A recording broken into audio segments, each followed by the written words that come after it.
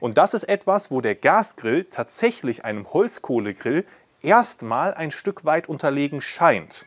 Und an der Deckeltemperatur kann man erkennen, ob der Grill ein guter Grill ist oder ein schlechter Grill ist. Und dann werden wir jetzt mal zwei Steaks auf dem Gasgrill und auf dem Holzkohlegrill vergrillen. Und dann sagt einfach mal mein Team hier, ob sie einen Unterschied herausschmecken. Willkommen zu diesem neuen Video bei Meet and Grade. Heute geht es um ein kontroverses Thema, denn ich erkläre euch, warum das Deckelthermometer gar kein Schätzeisen ist, sondern viel genauer, als alle das meinen. Es geht generell um die Temperaturen in eurem Grill. Warum sind die denn so unterschiedlich, wenn das Thermometer am Deckel so genau ist? Warum habe ich am Rost eine ganz andere Temperatur? Was für Arten von Temperaturen haben wir überhaupt in unserem Grill? Ist die Temperatur am Deckel wirklich höher als am Rost selbst? Und gibt es Unterschiede dabei zwischen einem Gasgrill und einem Holzkohlegrill? All das und noch viel mehr in diesem Video. Los geht's!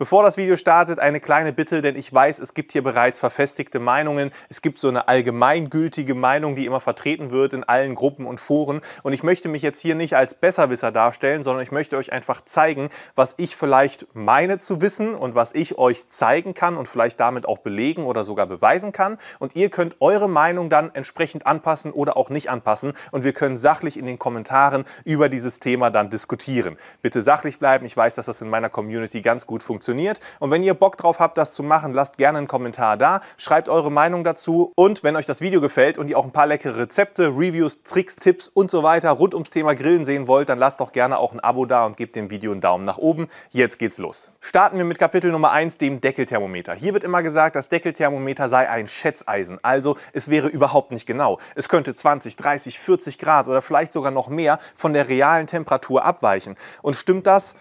Nicht ganz. Denn das, was das Deckelthermometer misst, das ist korrekt. Das ist ziemlich genau. Das werde ich euch gleich einmal beweisen. Aber wir haben unterschiedliche Temperaturen in unserem Grill. Bevor wir darauf aber kommen, zeige ich euch einmal, warum so ein Deckelthermometer sehr genau ist. Und wir werden das Deckelthermometer hier von unserem Rösle mal ausbauen, von unserem Rösle Kugelgrill, also Gasgrill und Kugelgrill, dann einmal von noch zwei anderen Gasgrills und alle vier Thermometer werden wir dann mal miteinander vergleichen und schauen, wie genau die sind.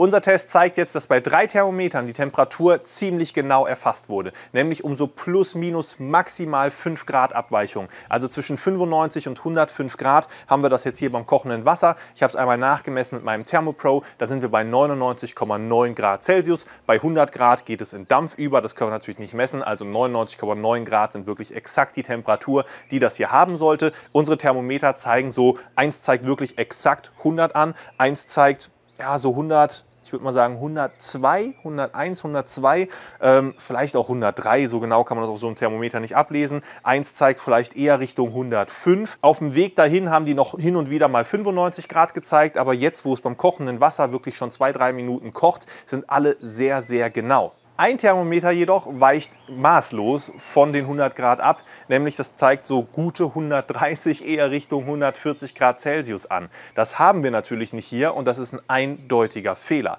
Ob das jetzt grundsätzlich bei diesen Thermometern so ist oder ob dieses Thermometer einfach einen Schaden hat, das weiß ich jetzt nicht, aber da kann ich euch den ersten Tipp mitgeben. Und zwar, wenn ihr die Temperatur eures Deckelthermometers anzweifelt, macht exakt diesen Test. Schaut, ob es ca. 100 Grad anzeigt und dann wisst ihr, hat es eine leichte Abweichung nach oben oder nach unten und normalerweise sollte diese Abweichung bei unter 5% liegen. Liegt sie da drüber, würde ich dem Hersteller einmal schreiben und mir ein neues Thermometer zuschicken lassen. Sollte das immer noch abweichen, dann verbaut der Hersteller tatsächlich ein sehr schlechtes Thermometer. Daher kommt jetzt vielleicht auch diese Aussage Schätzeisen, weil vielleicht die Leute kein Rösle oder Allgrill haben. Nein, Spaß beiseite. Das ist auch bei ganz vielen anderen Gasgrillherstellern exakt genau dieses Thermometer. Aber es gibt eben auch Ausnahmen. Ausnahmen bestätigen die Regel. Deswegen prüft euer Deckelthermometer. Wenn es aber funktionieren sollte, dann habt ihr ein Deckelthermometer, das auch die richtige Temperatur ansagt. Es ist kein Schätzeisen. Wenn wir uns jetzt also sicher sind, dass unser Deckelthermometer die genaue Temperatur anzeigt, die es auch messen kann, müssen wir uns fragen, warum sind die Temperaturen am Rost trotzdem anders? Und das liegt daran, dass wir drei Arten von Wärme in unserem Grill haben. Wir haben einmal eine Strahlungshitze oder auch Infrarothitze genannt, von unten, entweder beim Holzkohlegrill von der Kohle, die eine Fläche bietet und die Kohle strahlt unser Grillgut an, oder beim Gasgrill von unseren Flammschutzblechen, die sich erhitzen und dann eine Strahlungshitze an unser Grillgut abgeben. Und dann haben wir zweitens eine Kontakthitze unseres Rostes, Edelstahl oder oder Gusseisen, Holzkohle oder Gasgrill vollkommen unabhängig. Das heißt, da haben wir eine Kontaktfläche. Der Rost wird durch die Strahlungshitze und die dritte Hitzequelle, da rede ich gleich drüber, erhitzt und gibt dann über eine Kontaktfläche das Ganze an unser Grillgut ab. Die dritte Wärmeform, nenne ich es jetzt mal, die wir in unserem Grill haben, ist eine Konvektionshitze. Also Luft, die erhitzt ist und diese Luft kommt auch an unser Grillgut ran und diese Luft, die kommt oben an unser Deckelthermometer ran. Und das ist das, was das Deckelthermometer misst, nämlich die Umgebungstemperatur, also die Umluft, die wir in unserem Grill haben, wenn wir zum Beispiel etwas indirekt machen, aber auch wenn wir etwas direkt machen. Wenn wir etwas direkt grillen und das Thermometer direkt über der Kohle ist oder direkt über dem Brenner ist, dann misst misst das Deckelthermometer nicht nur die Konvektionshitze, also die erhitzte und erwärmte Luft, sondern auch die Strahlungshitze von unten. Was es aber auf gar keinen Fall messen kann, das ist der Rost selber, also die Temperatur am Rost selbst. Und deswegen werden wir jetzt mal vergleichen, wie heiß ist denn welche Temperatur und wie stark weichen diese drei Temperaturen voneinander ab. Wir haben jetzt bei beiden Grills mal alle Temperaturen, die es auch nur irgendwie irgendwo im Grill geben könnte, gemessen mit einer Wärmebildkamera, mit einer Infrarotkamera, mit unseren Messsonden, wo man eine Garraumtemperatur oder eine Kerntemperatur mit messen kann, mit den Deckelthermometern selbst auch nochmal und es ist ein ganz klares Ergebnis dabei rausgekommen. Fangen wir an beim Holzkohlegrill, also hier dem Kugelgrill, da haben wir das schnell abgehakt. Wir haben am Deckelthermometer knappe 350 Grad anliegen. Das ist eine Temperatur, die setzt sich zusammen aus der Konvektionshitze, also aus der erhitzten Luft und einer Strahlungs Umgebungshitze von der Kohle selbst. Warum? Weil hier das Deckelthermometer direkt über der Kohle sitzt, also direkt über der Glut. Solltet ihr die Kohle links und rechts vom Deckelthermometer haben oder nur auf einer Seite vom Deckelthermometer, dann zeigt das Deckelthermometer natürlich auch eine geringere Temperatur an. Ihr solltet aber wissen, wo euer Grillgut liegt und natürlich dann dort auch nochmal die Temperatur bestimmen, weil die dann auch ein bisschen höher ist, wenn die Strahlungshitze mit dazukommt. Diese knappen 350 Grad waren aber nicht die Maximaltemperatur, die hier herrscht, denn die Kohle selbst, die die hatte über 500 Grad und hat diese 500 Grad unten, wo das Grillgut liegt, natürlich auch abgegeben. Das bedeutet, wir haben zwar jetzt hier oben am Deckel die aufsteigende Hitze, die natürlich oben wärmer ist als unten, aber die Strahlungshitze ist um ein Vielfaches höher als die Konvektionshitze, wodurch wir unten am Rost eine viel höhere Temperatur haben, denn am Rost hatten wir gut über 400 Grad anliegen, die Kohle selber hatte gut 500 Grad, das bedeutet, von Kohle bis zum Rost ist schon ein bisschen was verloren gegangen und bis zur Deckeltemperatur natürlich auch noch mal ein bisschen was, wobei wir da natürlich wieder viel mehr Konvektionshitze haben, die wir aber eigentlich beim Grillen immer nur dann brauchen, wenn wir etwas indirekt machen. Denn Grillen an sich ist so definiert, dass wir eine Strahlungshitze haben, also diese Infrarothitze, die von unten das Grillgut erhitzt. Und das haben wir beim Grillen ja traditionell eigentlich immer zusammen mit einer Kontakthitze von unserem Rost, denn wir wollen ja ein schönes Branding haben beim Grillen. Aber eigentlich ist die Definition des Grillens eine Strahlungshitze von unten, die flächendeckend eigentlich eine Kruste macht. Und das ist etwas, wo der Gasgrill tatsächlich einem Holzkohlegrill erstmal ein Stück weit unterlegen scheint weil wir beim Gasgrill ja nicht flächendeckend Kohle haben, die sich erhitzt und auch keine Brenner haben, die sich erhitzen, sondern Brenner, wo letztendlich Gas, ein Gas-Luft-Gemisch ausströmt, was dann verbrennt und somit Luft erhitzt und diese Luft an unser Grillgut rankommt. Das ist allerdings wieder eine Konvektionshitze und keine Strahlungshitze, was bedeutet, dass das eigentlich definitionsgemäß kein Grillen ist.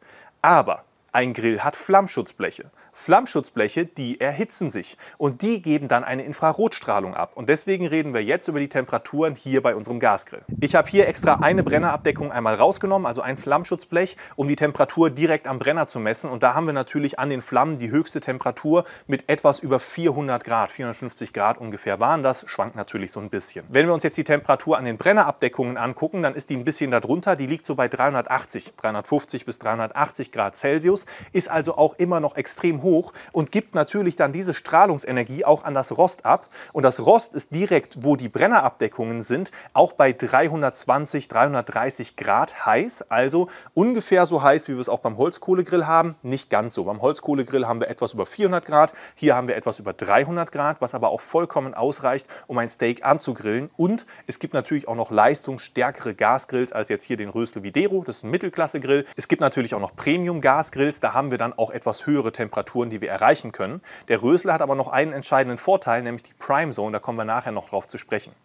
Etwas weniger Temperatur beim Gasgrill haben wir dort, wo die Brennerabdeckungen nicht sind, also zwischen den einzelnen Brennerabdeckungen, denn da haben wir eigentlich nur eine Konvektionshitze, die ans Rost rankommt. Das bedeutet, wir haben da so 250 Grad ungefähr am Rost anliegen. Das erklärt auch so ein bisschen die Ungleichmäßigkeit bei einem Gasgrill, weil wir unterschiedliche Hitzequellen hier nutzen, um unser Grill gut zuzubereiten. Bei der Deckeltemperatur hatten wir beim Gasgrill allerdings dieselbe Temperatur wie hier bei unserem Holzkohlekugelgrill auch. Und wir haben ja beide Thermometer vorher geprüft und beide sind exakt gleich. Jetzt hätte ich doch fast die wichtigste Aussage des Videos vergessen, nämlich die Deckeltemperatur eures Gasgrills ist komplett egal. Viele denken immer, die Deckeltemperatur müsste mindestens bei 300 Grad liegen oder mindestens bei 350 Grad und an der Deckeltemperatur kann man erkennen, ob der Grill ein guter Grill ist oder ein schlechter Grill ist und dem ist überhaupt nicht der Fall. Nach meiner Erklärung jetzt hier aus dem Video wisst ihr auch warum, denn wir grillen ja nicht mit der Konvektionshitze, sondern wir grillen mit der Strahlungs- und Kontakthitze und wenn die hoch genug ist, um bei eurem Steak ein perfektes Branding zu zaubern, dann ist euer Grill leistungsstark genug. Und da ist es komplett egal, was die Deckeltemperatur angibt.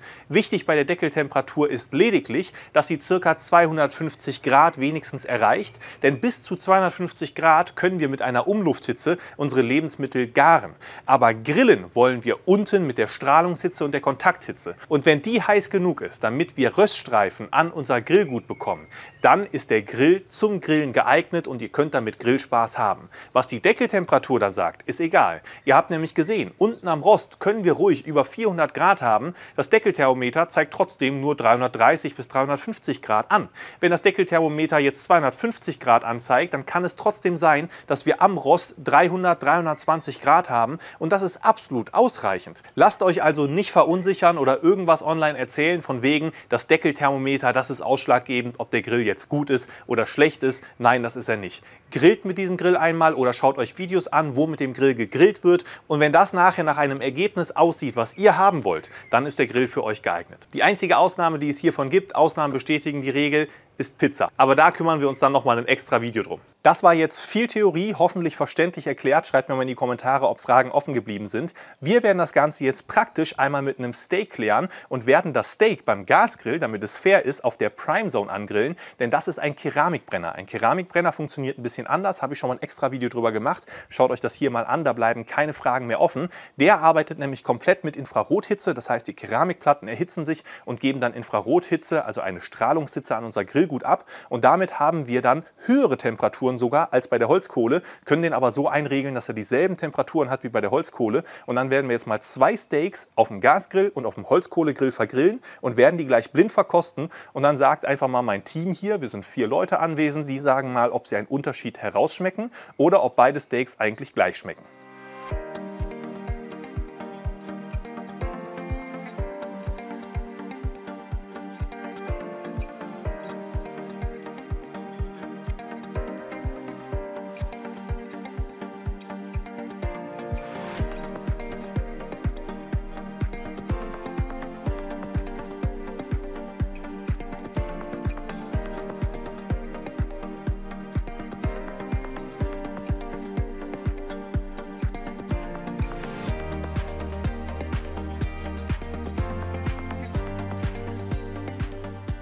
Verkostung ist durch. Ihr habt die Bilder von den Steaks gesehen, waren beide wirklich hervorragend vom Branding bzw. von der Kruste. Die Kerntemperatur war auf den Punkt und wir haben alle gesagt, es schmeckt unglaublich geil. Bevor wir also zum Ergebnis der Verkostung kommen, einmal ein ganz großes Lob an Eat Venture.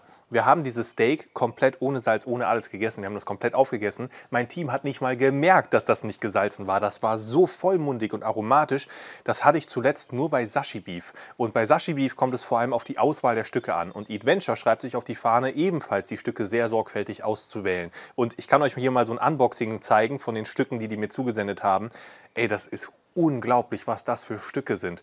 Also ganz große Empfehlung an der Stelle. Ich verlinke euch das unten in der Beschreibung mit Rabattcode. 15% bekommt ihr dann sogar. Also an der Stelle wirklich ganz, ganz große Empfehlung, unbedingt mal ausprobieren. Jetzt aber zum Ergebnis des Tests. Mein Team konnte absolut gar keinen Geschmacksunterschied feststellen. Ein Teil des Teams wusste nicht mal, was wir überhaupt vergleichen wollen. Ja? Das heißt, die haben gesagt, ja, was für einen Unterschied soll ich denn rausschmecken? Sag ich, sage ich jetzt erstmal nicht. Guck einfach mal, schmeckst du irgendwie einen Unterschied? Und dann wurde so gesagt, boah, hm, nee, vielleicht irgendwie das eine Steak mit Butter, das andere ohne. Nee, das war nicht der Unterschied. Also entweder Gasgrill oder Holzkohle. Und da haben sie gesagt, boah, hm, okay, keine Ahnung, ich wüsste jetzt nicht welches. Und dann haben sie versucht zu raten und die Hälfte hat richtig und die Hälfte hat falsch geraten. Aber nur, weil sie geraten haben und wir haben wirklich eindeutig gesagt, man schmeckt wirklich gar keinen Unterschied. Damit wir das jetzt aber wissenschaftlich haben, werden wir demnächst mal eine Studie machen mit deutlich mehr Probanden und Doppelverblindung, weil ich wusste ja jetzt, welches Steak vom Gasgrill, welches vom Holzkohlegrill ist und damit kann man natürlich immer so ein bisschen beeinflussen. Und wenn man es wissenschaftlich haben will, dann schließt man diese Störfaktoren aus und das werden wir demnächst mal machen. Wenn ihr Bock habt, dieses Video zu sehen, lasst gerne ein Abo da. Was bleibt mir abschließend zu sagen? Ihr habt in eurem Grill, sei es Holzkohlegrill oder Gasgrill, die gleichen Möglichkeiten, weil Hitze ist Hitze, aber ihr habt unterschiedliche Hitzequellen bzw. Wärmearten in eurem Grill. Ihr habt die Strahlungshitze, die ihr nutzen könnt fürs Grillen, ihr habt die Konvektionshitze, die ihr nutzen solltet für indirekte Temperaturen, um etwas gar zu ziehen, für Longjobs und so weiter. Und ihr habt natürlich die Kontakthitze von eurem Rost, mit der ihr richtig schöne Brandings erzeugen könnt. Wenn ihr also etwas grillt, solltet ihr wissen, wo welche Temperatur anliegt und welche Hitzequelle welche Eigenschaften hat, damit ihr nachher zum richtigen Ergebnis kommt. Wenn da Fragen offen geblieben sind, schreibt es mir in die Kommentare. Ansonsten gibt es hier auf dem Kanal natürlich auch weiterhin Videos mit Tipps, Tricks und so weiter, Anleitungen zum Grillen, perfekt in aller Ausführlichkeit mit PDFs, schriftlichen Anleitungen Anleitungen für die Rezepte und so weiter auf unserer Website. Allen Informationen immer in der Videobeschreibung und ich bin für euch auch greifbar. Das heißt, ihr könnt mir in den Kommentaren was schreiben. Ich lese jeden Kommentar. Ihr könnt mir auf Instagram schreiben oder ihr werdet Teil unserer Grill-Community auf Facebook und tretet der Facebook-Gruppe die Grill-Community bei. Egal, ob ihr Bock darauf habt oder nicht, ich wünsche euch viel Spaß am Grill und wir sehen uns im nächsten Video wieder. Bis dahin, ciao.